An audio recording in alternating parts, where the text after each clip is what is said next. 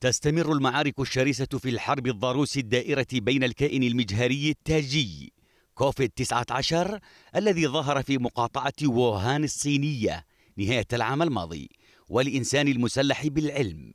فالأول يقتل منذ نحو عام حتى أودى بحياة أكثر من مليون وثلاثمائة ألف إنسان.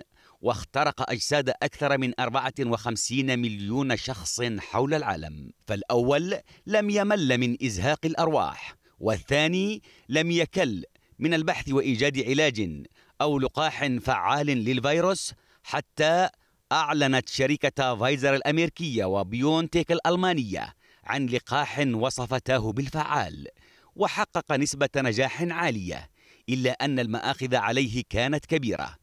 ولعل أبرزها ظروف التخزين والشحن والنقل الصعبة حيث يحتاج إلى نحو سبعين درجة تحت الصفر ما يجعل من نقله وتخزينه ضربا من المحال. كل هذا جاء بعد فشل العديد من التجارب لإنتاج لقاح فعال. أبرزها تجربة لقاح أكسفورد الذي أثبت فشله الذريع مرورا بريميديسفير. الذي حصل على موافقة استعجالية في الولايات المتحدة والهند وسنغافورة ثم أنترفيرون بيتا وغيرها من اللقاحات التي انتهت إلى زوال. ناهيك عن محاولات الطب البديل والشعبي وحتى الدجل والشعوذة. إلى أن جاء الخبر الذي أثلج صدور سكان الأرض حين أعلنت شركة موديرنا الأمريكية خبر لقاحها الفعال بنسبة 94 ونصف بالمئة.